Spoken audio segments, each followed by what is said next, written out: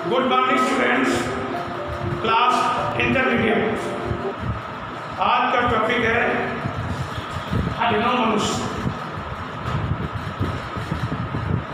देखिए, आपका ये क्रम निरंतर चल रहा है। अब केवल ओनली वन यानी एक लेसन आपका और बचा है आगे जी का। इसके बाद आपकी काव्य की बुक पूरी मैंने समाप्त कर दी है। वाक्यांश जो दिए गए हैं पीछे, पद्यांश पर आधारित अग्र उत्तरी प्रश्न भी डेली छटवा करके, पढ़ा करके, वीडियो के माध्यम से आपकी तैयारी करवा दी है। अब ज़िम्मेदारी आपकी है कि आप उसकी तैयारी ईमानदारी से करना शुरू कर दें। अब एक लेसन और बचा, इसके बाद से फिर गद्य खंड शुरू होगा। गद्य खंड चलेगा। जब गद्य भी खत्म हो जाएगा, काव्य खत्म हो जाएगा, संस्कृत भी मैंने खत्म करा दी तो फिर क्या बचेगा? फिर बचेगा ये कि अब रिवीजन चालू करेंगे। और रिवीजन हम बुक से पढ़ेंगे। वैसे आपके सारे पैरा पढ़ गए हैं, लेकिन एक बार रिवीजन चलाएँगे आराम। उसमें कोई भी स्टूडेंट बिल्कुल लापरवाही नहीं करेगा क्योंकि वो आपकी तैयारी होगी, अंतिम तैयारी बोर्ड परीक्षा की। तो तैयारी के साथ हम एक लेसन शुरू करेंगे। संस्कृत भी शुरुआत करेंगे, गद्य का शुरुआत करेंगे और काव्य भी शुरू करेंगे। और भी जितनी चीज़ें पढ़ाई जा सकती हैं, समझाई जा सकती हैं, सारी समझाएँगे। व्याकरण के चलेगा, आपका कोर्स हो सकता है सितंबर में ख़त्म कर दें या अक्टूबर में चला जाए। फिर आपके पास अक्टूबर, नवंबर, दिसंबर, जनवरी, कई महीने बचेंगे आपका रिवीजन के लिए। कोर्स पूरा कराई दिया हमने। कई लोगों ने कापियाँ भी चेक करा दी, आ रहे हैं कराने। जो लोग बचे हैं, लापरवाही कर रहे हैं, उनसे मेरा ये बार बार कहना है कि आप अपना कोर्स आकर के ज़रूर चेक करा लें। कोई दिक्कत हो, कोई समस्या हो, हमें बताएँ। हम कापी दिलाएँगे या नोट्स देंगे, आपका काम पूरा कराएँगे। लेकिन आप आएँगे नहीं, काम नहीं पूरा होगा तो आपका ये बोर्ड परीक्षा के समय आपके सामने समस्या हो जाएगी। जब मैं बार बार समझा देता हूँ बोलता हूँ मात्र इसीलिए। समझाने के लिए। अब देखो बेटा, यहाँ से सावधान मनुष्य, यदि विज्ञान है तलवार तो इसे देखे तज कर मोह स्मृत के पार। हो चुका है सिद्ध, है तू सिर्फ़ अभी अज्ञान फूल कांटों की तुझे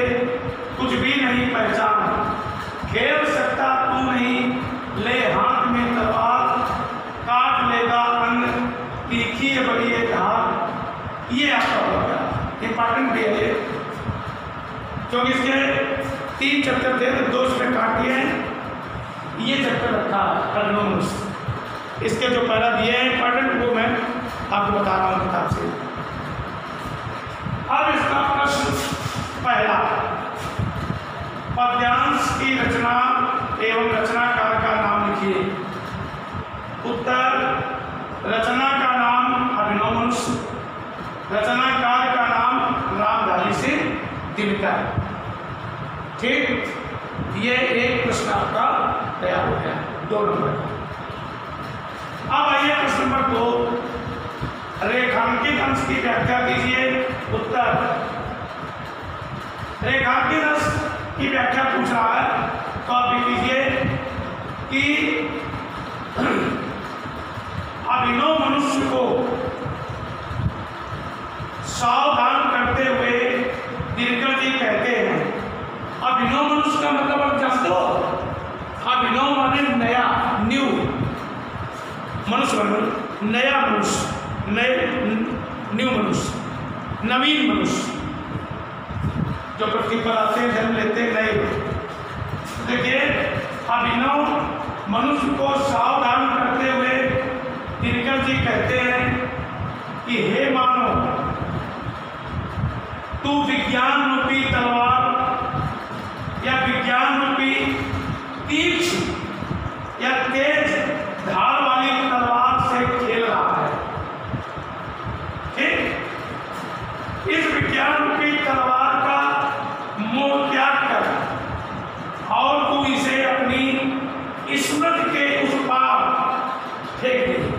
मतलब मैंने याद, अपनी यादों से निकाल दिया हो चुका है क्योंकि ये किसी भी समय तेरे लिए विनाशकारी हो सकती है।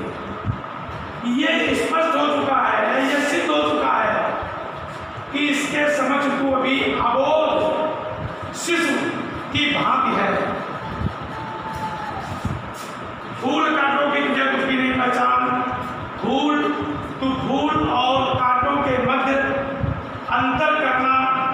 जानता है। तुझे पहचान नहीं है फूल और कांटों में क्या अंतर है? क्योंकि तू अभी अबोध बालक है। जैसे कोई छोटा शिशु होता है, अनजान, उसे चाहे कांटा दे दो, चाहे फूल दो दो, या कोई और वस्तु दे दो, वो तो उठा लेगा, पकड़ लेगा, उसे जानकारी नहीं। वही चीज़ बताई जाएगी मनुष्य के लिए कहा है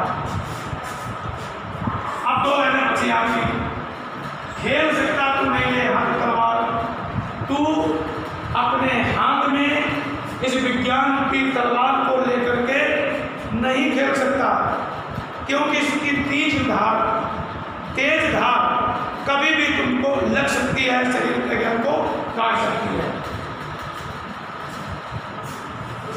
काट लेगा ना तीखी क्योंकि इसकी धार बड़ी तीखी होती है तेज होती है कभी भी इसको तुम्हें हाथ में लेने से तो खेल खेल में ये तुम्हें काट सकती है अब तीस इन पंक्तियों में कवि ने मानव को किसके पर सचेत किया? उत्तर, इन पंक्तियों में कवि ने मानव को बढ़ते वैज्ञानिक प्रयोगों के प्रति सचेत किया? प्रश्न, अगला, विज्ञान रूपी तलवार दिनकर जी ने क्या कहा? उत्तर विज्ञान रूपी तलवार के संबंध में दिनकर जी ने कहा है कि, हे मानो, तू बिना विज्ञान रूपी, तेज धार वाली या तीक्ष्ण धार वाली तलवार से खेल रहा है। इस विज्ञान रूपी तलवार का मोह त्याग कर तू इसे अपनी स्मृत से भी दूर फेंक दे, क्योंकि किसी भी समय तेरे लिए विनाशकारी सिद्ध हो सकती है। प्रश्न नंबर पाँच, भूल और कांटों के संदर्भ में कवि ने आज के मानव से क्या कहा है? उत्तर, भूल और कांटों के संदर्भ में कवि ने आज के मानव से कहा है कि हे मानव, तेरी क्रियाओं और विज्ञान के उपयोग की पद्धति को देखकर ये स्पष्ट हो चुका है कि इसके समक्ष तू अभी अबोध। शिष्य की भांति है, तू फूल और कांटों में अंतर करना भी नहीं जानता है और कांटों को फूल समझकर उनकी ओर आकर्षित हो रहा है। ये आपका वीडियो आपके पास जाएगा चल समझ लीजिए। एक चीज़ और फिर बताते हैं उसे कल बता दिए थे कि आपका समय मैंने चेंज कर दिया है हिंदी का। आठ दस से पंद्रह तक हम वेट कर सकते हैं। यानी दस आठ, दस से का टाइम है तो तीन मिनट आपके तैयार होने में। तो आठ, पंद्रह बिल्कुल लास्ट टाइम है, आठ, दस पंद्रह बीस में आप आठ, दस बजे पढ़ा शुरू कर देंगे। अभी तो बनाइए कल से सब लोग समझेंगे